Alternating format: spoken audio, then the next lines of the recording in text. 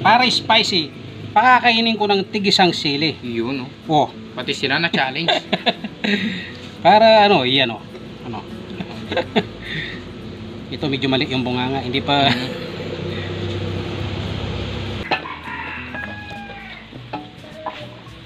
Ito yung magiging ano niya, pinakatuntungan. Bawang at saka sibuyas.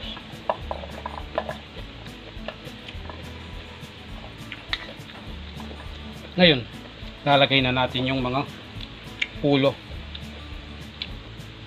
Ito, try lang natin ito. Kung lalambot siya. Hmm. Nasa 80 pesos lang. Dalawang kilo na yan. Turog.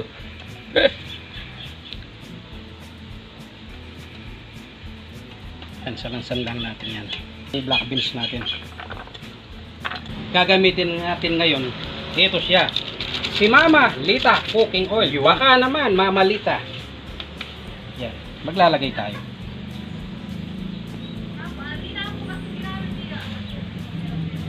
Yan, para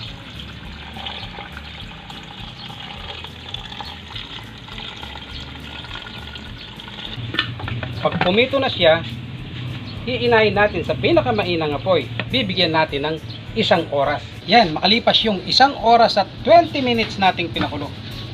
Yan, Yan. ito na po siya. Malambot na kaya yung buto niyan. Tingnan natin mamaya. Yun, panibagong araw at napakagandang araw sa inyo mga manay. Isang napakagandang araw sa inyo mga manoy. Sa araw to, yung episode natin, kakaiba siya. Yun. Gagawa tayong spicy, ulo ng bangos, sardines. Yun. Ayan, pakita mo kami Yan. naman. Ayan, napakaraming ulo lahat yan. Mm Favorite ko pa naman yan. Yan. Ngayon, titimplahin ko muna yan.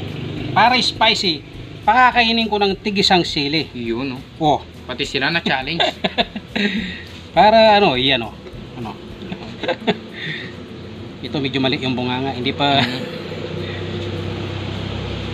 Sige, balikan natin yan. Na, napakarami nito. Yan, dahil sobrang dami ng ulo ng bangus natin, naubusan yung sili natin. Pero pwede na yan. Simulan na natin yung pagluluto. Ikakala lang natin itong carrots. Yan. Pero tikman ko muna kung good pa siya.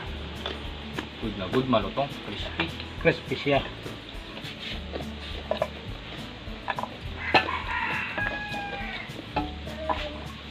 Ito yung magiging ano niya, pinakatuntungan.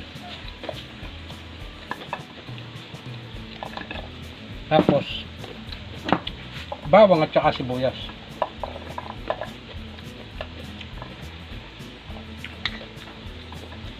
Masarap pala yung carrots ah. Ngayon, lalagay na natin yung mga ulo. Ito, try lang natin ito. Kung lalambot siya. Mm. Pag hindi lumambot, palpak. Pero sobrang napakamura po nito. Makakabili kayo sa online. Nasa 80 pesos lang. Dalawang kilo na yan. Pero mo kung talagang lalambot ito, Walang tapon. tipid na tipid talaga kahit sa mga bata pwede pero tignan muna natin mamaya kasi hindi pa natin masasabi talaga kung lalambot siya. Pero pag sa bata huwag niyong pakainin ng sili. Kawawa yung bata. Ang dami. Siguro nasa kulang sa 50 pieces to.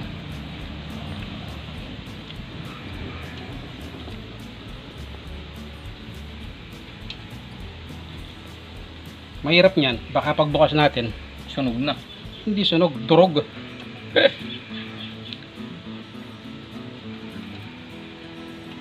yan, salang-sandang natin yan. Tapos lalagay na natin yung black beans natin.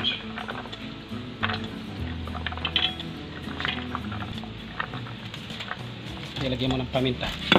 Gagamit tayo patis. Pero konti lang kasi mahala na yung beans na yun eh. Ito. Pamintang buo, dalawa. ay yung pampalasa natin.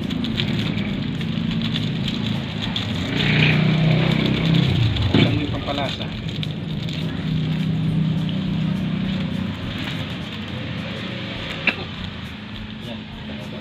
gagamitin natin ngayon. Ito siya. Si Mama Lita Cooking Oil. Baka naman Mama Lita. Yan. Maglalagay tayo.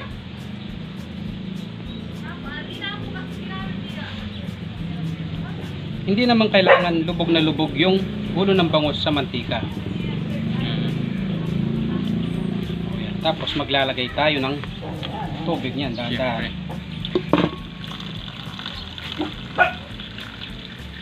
Sa gilid para yan. Yan, para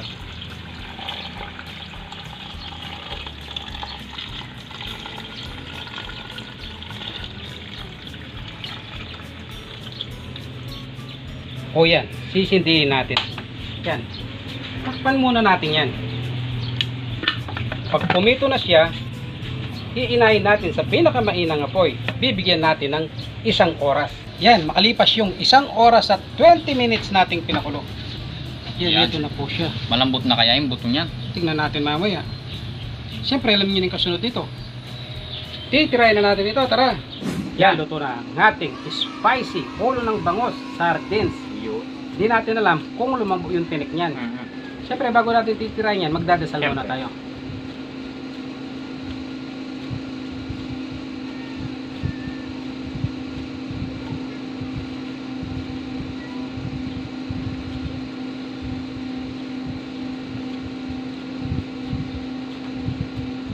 Try ko muna. Pakita ko muna yun. Ito yung tinik niya.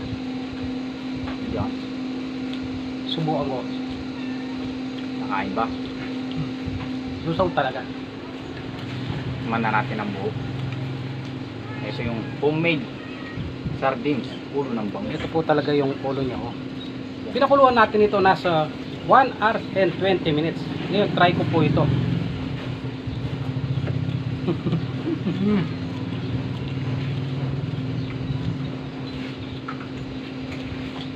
Walang sayang. Pwede po siya. Kaya yung matigas niya, yung mata niya. Yung bilog na mata. Mm. Yung pala ito ito. Pero pwede po pala siya. Kaya lang, hindi pwedeng i-market kasi sobrang lambot. Parang nalulusaw siya. Kumbaga pambahay pwede siya. Kumbaga siya. Kasi makakain mo Mm. lahat eh. Saka ito, mura to sa online. 80 ko.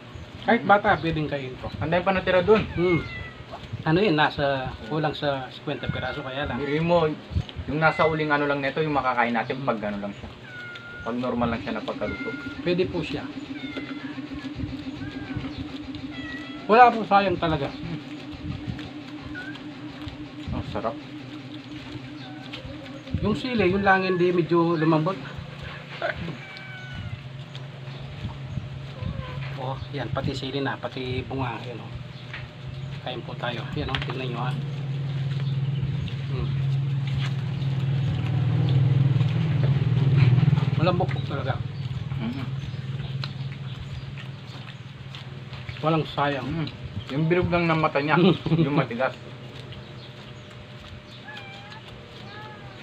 Ito lang yung makakain natin dyan, no, kung ano lang, yung laman na yan. Hmm. Pero dahil dyan pati tinik. Makakabili po kayo nito sa online.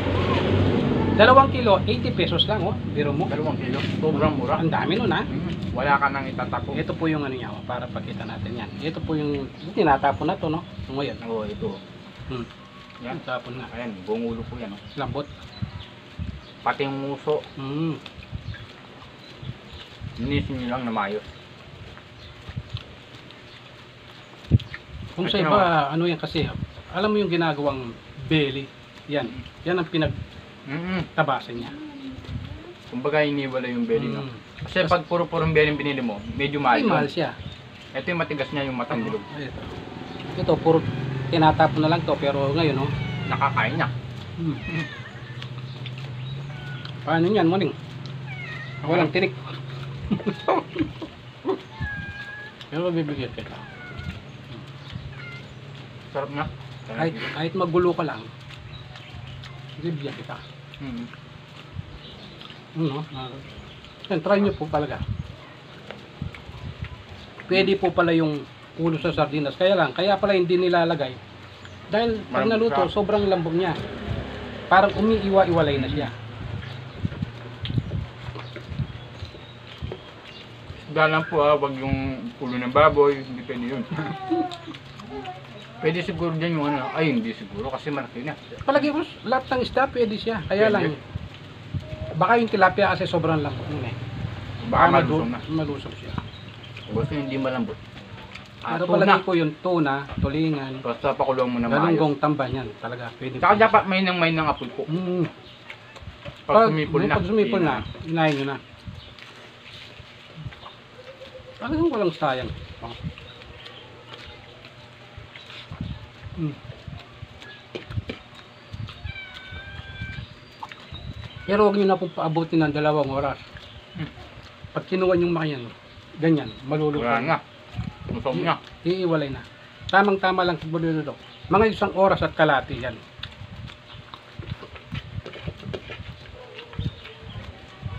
Marami sa online ganyan. Titinda. Sobrang mura pa. Sarap.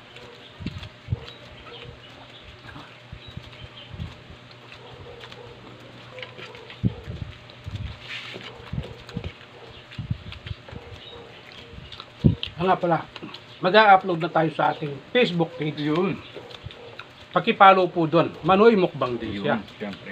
Siyempre, YouTube. Paki-subscribe. Supportahan nyo pa po sana kami. Kasi, ngayon to yung ano namin eh, Facebook. Mm-mm. Pero ngayon, tutuloy na natin kahit madalang lang tayo mag-upload. Baka gumawa pa tayo ng vlog natin na Iba iba, doon. Mm. Hmm. Try natin, baka supportan tayo ng mga viewers natin. Ito yung madalas niya tapon na. Hmm. Pero kailangan dyan, may pressure cooker ka. Mm. Kung sa ano lang siguro, hindi pwede. Pwede siguro basta matagal na matagal. Ewan ko. Talagang pwedeng pwedeng kainin lahat. Oh. Mm. Tsaka sa pagkakalam ko, yung tinik ng ano, isda, ano yan, may calcium. Hmm, siyempre, buto yun. Kaya ito, pwedeng pwede. Kahit bata po pwede siya. Huwag nyo lang lagyan ng sili. Mm-hmm. Pero, ito Ito ah, keros, hindi man masyadong ano. apps tinatapon na to, pero dito, oh, Mm. Buo pa yung keros natin. Mm. Favorite ko pa naman yung bangus ngayon. Wala na akong iniimay. Diretso na sa ano. Ngala-ngala, sa bunganga. nagluto tayo niyan. Yung katawan naman yung ginamit natin. Kaya Mhm. lang, may nag-comment siya bakit daw di sinama yung ulo tsaka buntot. Para daw dinaya natin. Hindi, Ayan, ulo mismo. Ano? Ulo na yung, puro ulo na lang yan. Mm Ayan, buong ulo pa. Ito yung mga ano nyo. Anong tawag dito? Panga. Panga. Ito may tinik pa nga to laman na to eh. Yan o. Yun yung tinik nyo. Mm. May nagsuko siya. Oh. Tignan niyo po. oh. Para totoo talaga. Yan, legit na legit. Oh. Linamas ko siya. Oh. Ito yung mga ano. Tinik. Ano? Talagang durog na durog po siya. oh. Para siya sisig. Mm. Mm. Try nyo po yan. Mm. Kung talagang titignan mo, parang hindi ka panipaniwala eh. Mm. Kasi mapa- makakain mo yung tinik. Dapat pala pag isda. Ganyan na. Mm. Para walang tapon. Kaya lang kawawa yung mga pusa. Mm. Pero safe siya sa mga bata. Mm.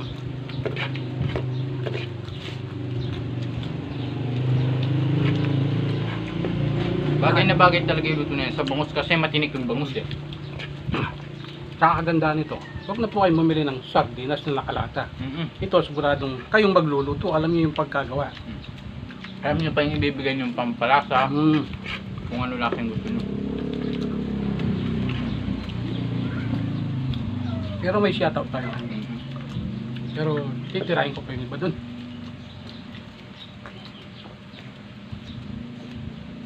Yun, shoutout na po tayo. Kabilani Family, Miracle, Isang, Liit, Intoy, Chantal, Miray, Cesar Emaristo, Winnie Vilgueras, Pam Channel, Keyboard Warrior, Chalene Ramos, Wilfred Jesura, Alan Supan, Angry Genius, Cari Bamba, Donna Paredes, Nomer Palomani, Rosal Garcia, Jun Orin ng Tanawan City, Batangas, RJ Santiago ng Valenzuela City, Ignacio Leno ng Valenzuela, Manila, Jonald Corsan ng Tagum City, Davao del Norte, Teresa Sonico, Ariel Amueda ng Alimundian, Iloilo, Chloe Kisya Inaya Buwan at Violet Marie Bonson ng Baguio City from Jefferson Buwan, Winwin Ronquillo ng San Jose del Monte, Bulacan, Jake Roman Santa ng Marinduque, Bathala Adventure PX, Jay Yabot ng Cabanatuan City, Jeneline ng Sultan Kudarat, Yun, shout out po sa inyo.